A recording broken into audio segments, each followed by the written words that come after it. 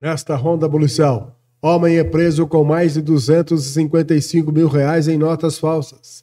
Policiais militares da Força Tática apreenderam mais de 255 mil reais em notas falsas em uma casa na rua Orlando de Oliveira, no Jardim Embaré, em São Carlos, na tarde desta terça-feira. Duas motos, uma roubada e outra furtada, também foram encontradas na residência. Um homem foi preso em flagrante. Segundo informações, após receber informações de que no endereço poderia estar uma moto furtada em Rio Claro, os policiais se dirigiram até o imóvel e localizaram a Suzuki Estrada no interior do mesmo. O morador foi abordado e alegou que pagou 15 mil reais em notas falsas pela Suzuki Estrada, furtada, e por uma Yamaha J6 com queixa de roubo que também estava no imóvel. Ainda na residência, os policiais militares encontraram em um dos quartos R$ 255.200 em notas falsas, além de apetrechos para falsificação. O acusado, LAR, foi conduzido até a delegacia de Polícia Federal em Araraquara, onde o delegado ratificou a prisão e ele permaneceu detido. As motos e as cédulas falsas foram apreendidas. Colaborou conosco o portal São Carlos Agora. Homem é encontrado morto com fio enrolado no pescoço e guardanapo na boca. Polícia suspeita de latrocínio, já que a casa da vítima estava toda revirada e o carro foi roubado.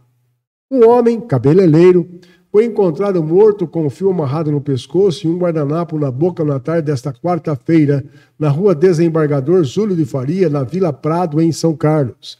A polícia suspeita de latrocínio, roubo seguido de morte, já que a casa da vítima estava toda revirada e o carro não estava na garagem. Segundo o um médico do SAMU, o óbito aconteceu durante a madrugada. Uma câmera de segurança registrou dois indivíduos saindo da casa com o Fiat Palio da vítima, que foi identificada como Robson Sérgio Pires, de 54 anos. O carro foi encontrado e a câmera de monitoramento também do local servirá para que a polícia possa checar direitinho e, quem sabe, nas próximas horas chegar aos homicidas. Uma discussão terminou em morte na noite de segunda-feira em Araras, a cerca de 120 quilômetros de Araraquara. O homicida fugiu após o disparo da arma de fogo. O caso ocorreu na rua Horário Castelato, no residencial Bosque de Versalhes. Segundo apurado por policiais militares e registrado em boletim de ocorrência, Kleber Rogério Martins Pinheiro, armado com uma faca, se desentendeu com o tio Pedro Aparecido Pinheiro e partiu para a agressão. Na tentativa de se defender do sobrinho, ele pegou um revólver em um dos cômodos da casa e deu um único tiro, atingindo mortalmente o sobrinho no tórax. Após o assassinato, Pedro fugiu com a arma o Corpo de Bombeiros, bem como o SAMU, atenderam a ocorrência, mas Kleber não resistiu aos ferimentos e faleceu no local, ao lado da faca com que pretendia atingir o desafeto. A Polícia Civil ainda trabalha para elucidar o crime e suas reais motivações. Homem tenta matar a mulher, ameaça também tirar a vida dos dois filhos e cometer suicídio.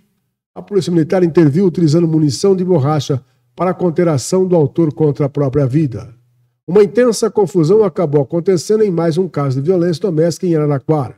Um homem de 42 anos, armado com facas, no Vale Verde, Zona Norte, na noite desta terça-feira, tentou tirar a vida da esposa, dos filhos e nas investidas contra a porta de um quarto, onde a esposa e os filhos se refugiaram, ele gritava em tom ameaçador que, após a consumação dos crimes, tiraria sua própria vida ação dos policiais, além de uma viatura que foi para o local após acionada via Copom, que atendeu a um chamado de vizinhos que ouviram uma mulher pedir por socorro, também contou com o apoio da Força Tática.